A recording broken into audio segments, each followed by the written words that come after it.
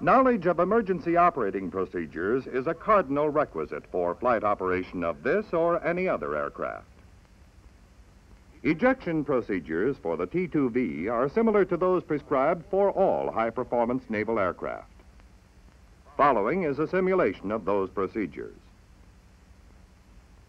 Once the decision to eject is made, place your feet in the stirrups and sit erect in the seat, head braced against the headrest. Pull the emergency bailout bottle and disconnect the oxygen hose at the mask connection. Grasp the face curtain handle.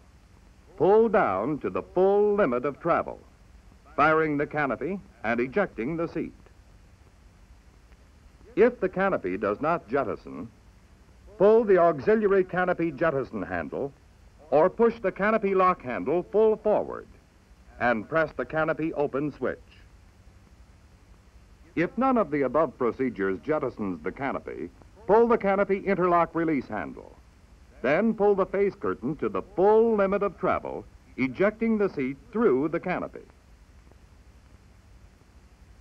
The air start is another emergency procedure with which you must be acquainted. Immediately upon flameout, move the throttle to the off position. Maximum altitude for an air start is 25,000 feet. Descend to that altitude if necessary. Then assume a glide of 200 knots. At this speed, the engine will windmill at 8 to 10 percent RPM. Then drain the tailpipe of residual fuel. Place the plane in a shallow dive.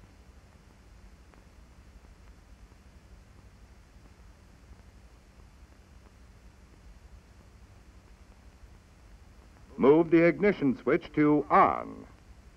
Place the battery generator switch in the bat only position. Move the throttle to the ignite position, hold momentarily, then slowly advance it to the idle position. Prime the engine as necessary to altitude idle RPM. Light off should occur within 15 seconds. If air starts are unsuccessful, a flame-out approach may be attempted.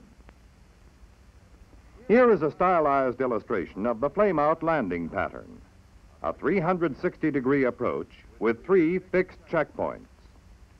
The high key, above and outboard of the intended touchdown point.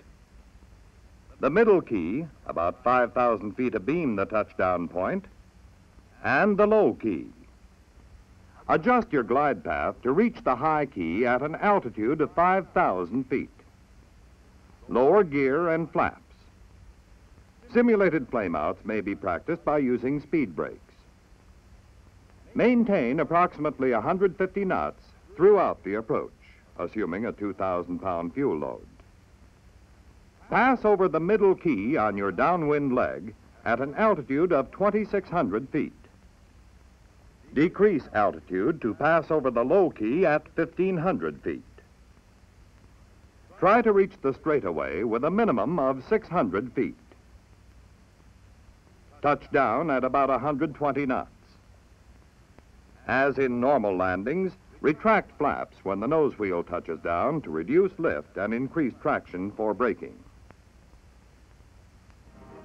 This completes our overall review of pre-flight, normal, and emergency procedures pertinent to the T-2V. Subsequent films and training will, of course, treat these procedures in specific detail.